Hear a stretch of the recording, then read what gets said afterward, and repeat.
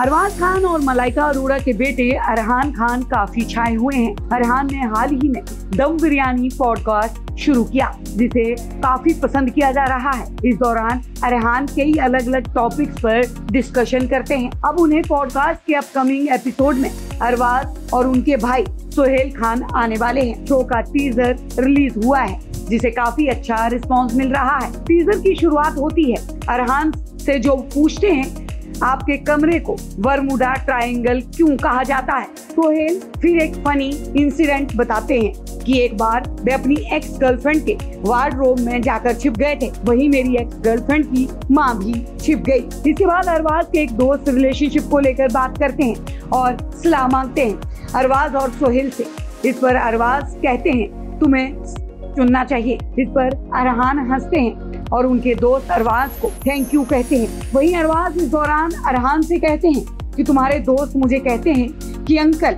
मैं आपकी इस शादी में नहीं आ पाऊँगा। तो मैंने कहा, ठीक है, कि अगली पर आना। ऐसे तो दोस्त हैं, तुम्हारे मुझे लगता है। तुम्हें बहुत हार्ड वर्क करना होगा इसके लिए। इस प्रोमो पर मलाइका अरोड़ा का भी रिएक्शन आया है। उन्होंने कई हंसने वाले इमोजी पोस्ट किए हैं। कमेंट सेक्शन पर। इस प्रोमो को काफ़ी पसंद किया जा रहा है। कोई कह रहा है कि इससे पता चलता है कि पापा, बेटे और चाचा भतीजे के बीच दोस्ती वाला बॉन्ड है।